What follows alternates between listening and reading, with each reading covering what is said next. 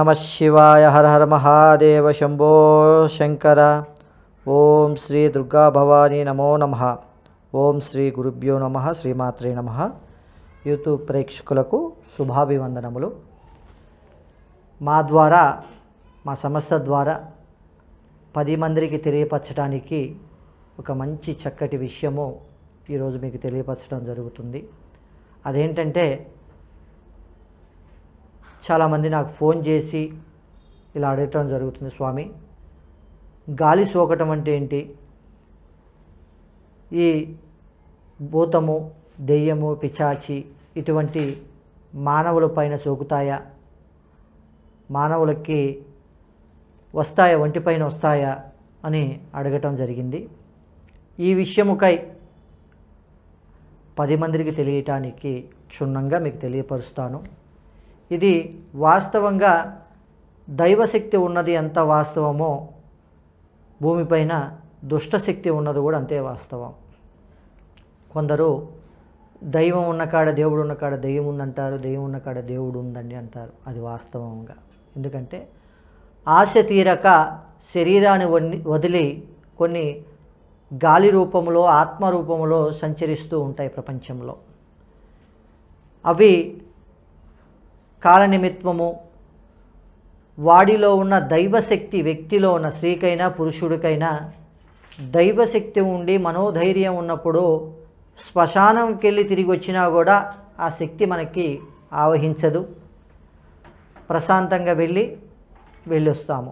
అలాగే దైవశక్తి లేక అధైర్యంగా ఉన్న వ్యక్తి పంచభూతాలు తన ఆధీనంలో ఉండక అవతల వ్యక్తికి లీనమైపోతాడనమాట. అవతల వాటికి మనం దాసోహమై ఉండిపోతాం అన్నమాట అటువంటి వ్యక్తి వ్యక్తులకు మనం శ్మశానంకే పోవాల్సిన పని లేదు. మన గృహములో ఉన్నా కూడా కొన్ని సంచరిస్తున్న గ్రహశక్తులు రాత్రి పగలు కొన్ని చెడు పీడలు రాత్రి అనేది పగలనేది ప్రపంచంలో సహజము. ఈ యొక్క రాక్షస గణానికి రాక్షస యోగానికి కొంత సమయం ఉంటుందన్నమాట. అది రాత్రి సమయములో. అటువంటి ఆ సమయంలో ప్రజలందరూ విశ్రాంతి తీసుకున్న సమయాల్లో కొన్ని ఆత్మలు సంచరిస్తూ ఉంటాయి. ఆత్మ అనేది సహజంగా ఉంది.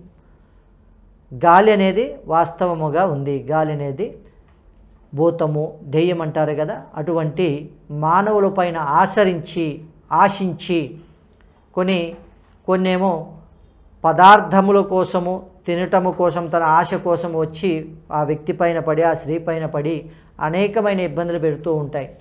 రాత్రి పగలు పడుకోనివ్వకుండా తన ఆత్మ అనేది శరీరంలో చేరి విధి విధానంగా అనేక రకముగా వ్యక్తిగా ఉన్నప్పుడు మనిషిగా ఉన్నప్పుడు మంచిగా ఉన్నప్పుడు ఒక రకంగా ఉంటాడు.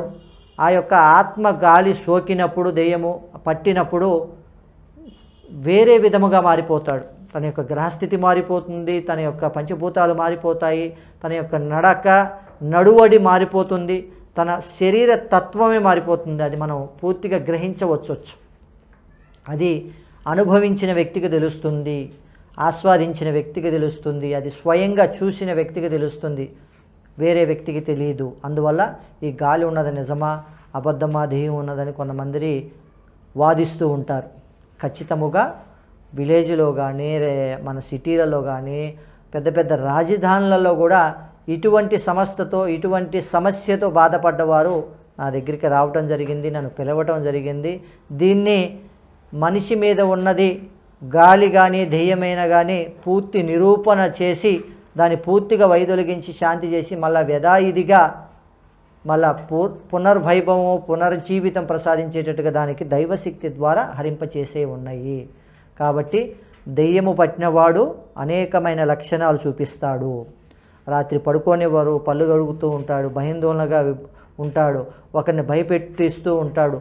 తన యొక్క మనిషి మాటలోనే మాట మారిపోతూ ఉంటుంది. మామూలుగా ఉన్నప్పుడు ఏ రకంగా సంభాషిస్తాడు ఈ యొక్క గాలి ప్రభావం సోకినప్పుడు ఏ రకంగా సంభావిస్తాడు అనేది కూడా తన యొక్క ప్రవర్తనలోనే గుర్తుపట్టచ్చు. ఇవన్నీ ఉన్నది వాస్తవము. దీన్ని ఎన్నో ఊర్లలో ఎన్నో విలేజ్లో ఎన్ని సిటీలలో కొందరు గ్రహించలేక గ్రహించలేక ఇది ఆరోగ్య సమస్యమో ఇది మానసికంగా ఇబ్బంది పడుతున్నాడేమో ఇది మానసిక ఆరోగ్య సమస్యమో అని చాలామంది డాక్టర్ల దగ్గరికి వెళ్ళటము ఆ డాక్టర్లు కూడా కొన్ని టెస్ట్లలో కొన్ని స్కానింగ్లలో ఏమీ లేక డబ్బు ఖర్చు అవుతుంది తప్ప దానికి తగ్గ మార్గం దొరకదు. ఇది వాస్తవముగా గాలి సోకటం అనేది భూత ప్రేత పిచాచులు అనేది మన పైన ఆశించి వ్యక్తుల ద్వారా కూడా చెడు చెడు చేయటం వల్ల కూడా ఇవి ప్రవేశించడం జరుగుతూ ఉంటాయి. అవి అనుకున్న రీతిలో కొంతమందికి ప్రాణ నష్టాలు కూడా కలిగించిన రోజులు ఉన్నాయి. ఆశించింది తీసుకువెళ్ళటానికి తన మోజుతో ఆ వ్యక్తి యొక్క ప్రాణాలు తీసి ఏదో ఒక రూపంలో తనంత తాను ప్రమాదం చేసుకునేటట్టుగా ఏది ఉడితాడు కానీ అట్లాంటి కానీ లేదా సూసైడ్ అటెంప్ట్ కానీ లేదంటే ఏదో ఒక రూపంలో ఇలాగా ఆ దుష్టశక్తులు ఆ గాలి రూపాలను ఎత్తుని కూర్చొని అతను చేసేది ఏదో తెలియక ఆ టైంలో తప్పు జరిగిపోతూ ఉంటుందన్నమాట. అటువంటివి ఉండటము వాస్తవము ఇవి ఉన్నప్పుడు ఆ లక్షణాలు మనకి తెలిసిపోతూ ఉంటాయి. అది గ్రహించాలి.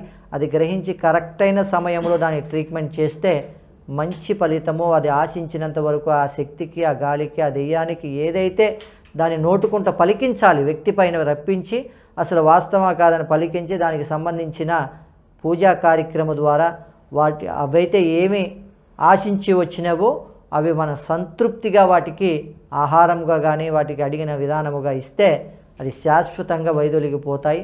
వైదొలిగిన తర్వాత వాటిని బంది బంధించి దాన్ని శాశ్వతంగా మనం బూడిద చేసి వాటిని గంగ స్థానములో నదీ స్థానములో కానీ సముద్ర స్థానములో కానీ కలిపేస్తే శాశ్వత మోక్షం అనేది వాటికి దొరుకుతుంది. కాబట్టి ఇటువంటి ఇబ్బందులతో ఉన్నవారు గాలి సోకి దెయ్యము ఎటువంటి వారు ఎటువంటి సిటీలో ఉన్న విలేజ్లో ఉన్న మా ద్వారా మా సంస్థ ద్వారా మా ఫోన్ నెంబర్ ద్వారా మీరు కాంటాక్ట్ అయ్యి ఈ యొక్క సమస్యని శాశ్వతంగా పరిష్కారం చేసుకోగలరని కోరుకుంటూ శ్రీకరం శుభకరం ఈ విషయాన్ని పది మందికి తెలియపరిచి మా ఛానల్ సబ్స్క్రైబ్ చేసి శుభప్రదంగా ఉండాలని కోరుకుంటూ ఓం నమ శివాయ. ఇలాంటి మరిన్ని సరికా వీడియోల కోసం ఛానల్ని సబ్స్క్రైబ్ చేయండి. అలాగే ఇక్కడ ఉండే ఈ గంట సింబల్ని క్లిక్ చేయండి. మేము అప్డేట్ చేసే ప్రతి వీడియో నోటిఫికేషన్స్ మీకు